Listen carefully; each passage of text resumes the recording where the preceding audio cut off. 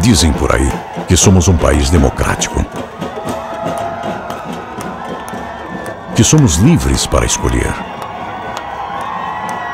Então, por que as operadoras de celular são tão resistentes à sua liberdade de escolha? Afinal, somos realmente livres?